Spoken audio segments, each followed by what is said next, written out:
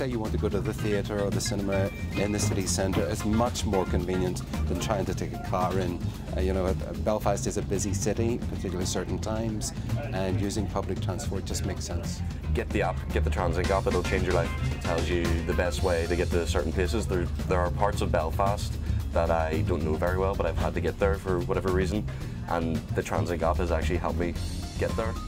Um, I'm a busy mum with three kids, so that's my downtime and me time when I can answer emails or get in touch with friends or read newspapers, books. Well, from where I live, one of the reasons that I really love public transport is I can use the train, Ulster bus or metro and I can go from one to the other with the same ticket. It's absolutely brilliant for me. I think it's a smart move because it saves you so much time. I am a busy mom, a, a part-time student, and I have a full-time job. So having that extra time to enjoy with my family is really a smart move.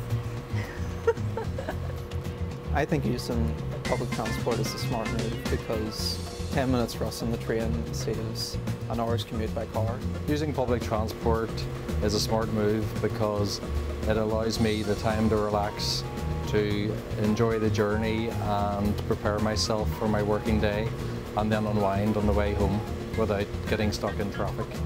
Um, any tips I'd give to other people would be to get, if you're aged between 16 to 23, to get a Y-Link card and you get a discount off your fare that way.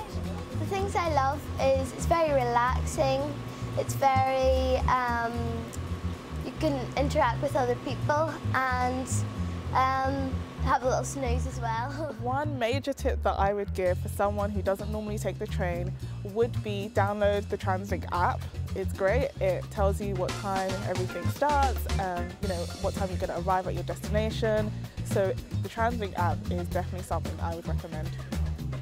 The smart move for taking public transport is because it saves you time in the morning and you don't have to sit in traffic. It's the best part. I go to Dublin sometimes on the train with my daddy and we just have a good time listening to some music, relax, have some food on the train because my uncle lives up there so we go like twice a month to go up and see him and it's just the best. I believe that we all have a responsibility to um, look after the environment and public, public transport is one of those things that, um, that allows us to do that, that empowers me actually to be able to do that. Um, I also like the fact that I can catch up on work, um, I'm a lot more productive. Um, and as well, actually, I've met a lot of good people on the journey, which tends to make it go a lot quicker than if you were in the car. I travel in public transport quite a lot. I travel with my son two or three times a week. Um, he goes to school in town, he goes to Inst, and he has to tra travel with a big trombone. So I travel with my son on his big trombone a couple of times a week. I love public transport because it's not friendship for the boys and they love to go on a day out. It's a fun thing to do with them to spend family time together and there's no hassle looking for a parking space.